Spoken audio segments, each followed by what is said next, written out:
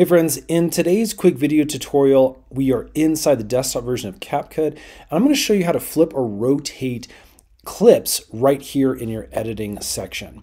Now, as you can see, this clip over here is upside down, and this happens a lot if I'm filming using an iPhone and maybe the auto rotation feature on the iPhone didn't adjust properly before you hit the record button, so something recorded upside down.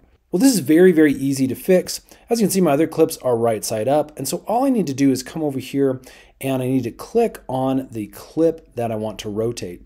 And then what we have right up here is a little rotate button. I'm gonna highlight the text by just putting my cursor directly over it. And once you click on that, as you can see, it will rotate 90 degrees. In this case, it rotates clockwise. So I'm gonna have to rotate this once more so that we have a full 180 degree flip.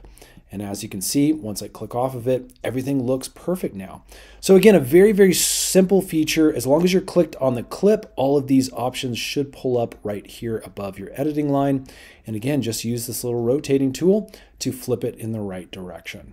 Super simple tutorial, friends. Hope that helps your editing journey. If it has, hit that thumbs up button. Stay tuned. We're making a ton more of these CapCut tutorial videos to help make your editing journey just a little bit easier. Thanks for watching. We'll see you again on the next one.